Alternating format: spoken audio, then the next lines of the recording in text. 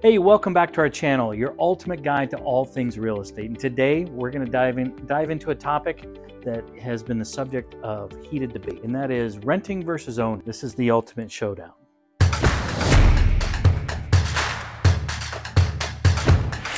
So let's kick things off with a quick snapshot of what each option entails.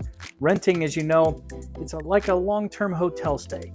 You pay a monthly fee to live in a property owned by somebody else. On the flip side, buying's like being the king or the queen of your castle.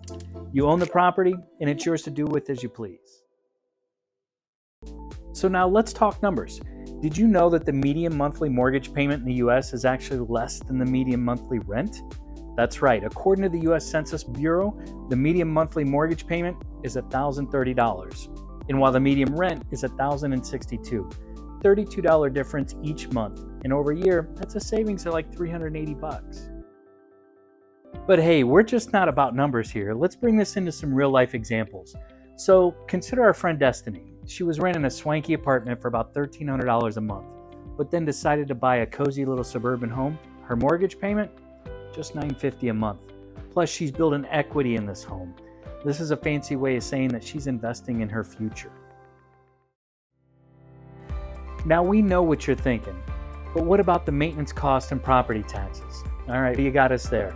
As a homeowner, you're going to have to foot the bill for any of the repairs or upgrades.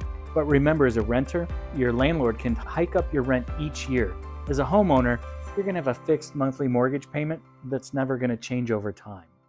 So before we wrap up, I have a quick favor to ask. If you're enjoying this video and you want to see more like it, go ahead and hit that subscribe button. We promise it's going to be worth it. So there you have it, the ultimate showdown between renting and buying. While both have their pros and cons, buying seems to come out on top when you consider the long-term financial benefits. But remember, the best choice depends on your personal circumstances and financial goals.